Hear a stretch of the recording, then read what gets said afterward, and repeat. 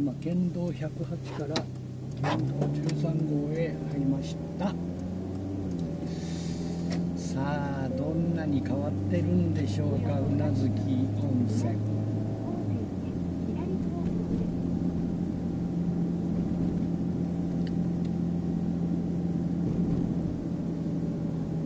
朝日宇奈月線うなずいちゃうね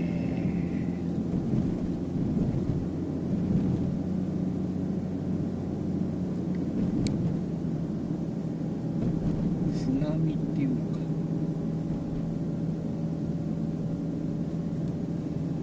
まだ朝7時半だからな。温泉空いてねえかな。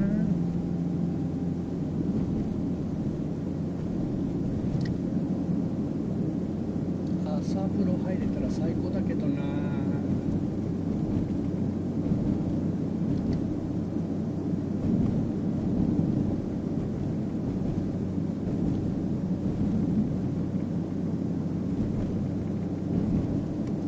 んぐらいあるんだっけ結構奥の方まで行くもんな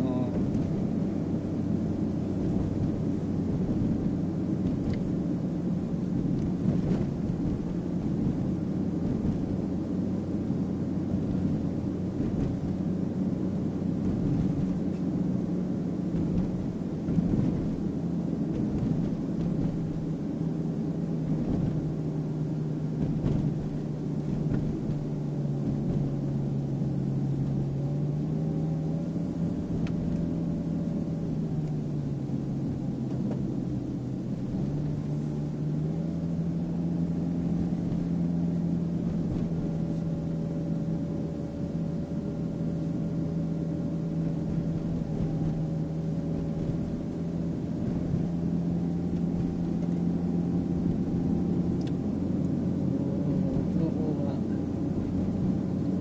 雲がかかってなんせ黒部で黒黒部だからな、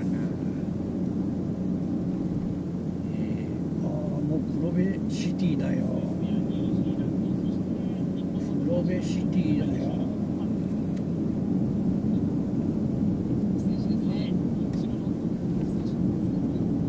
トロッコ電車は乗ったことないんだよな。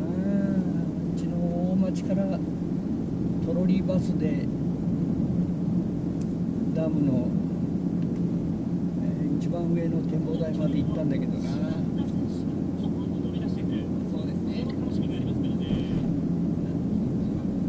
車で行ってっからな富山の方へ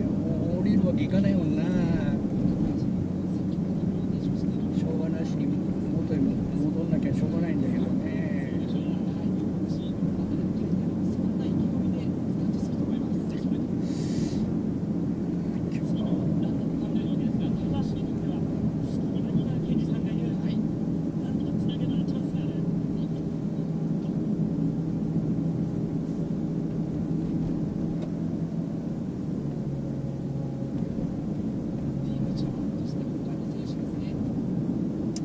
今日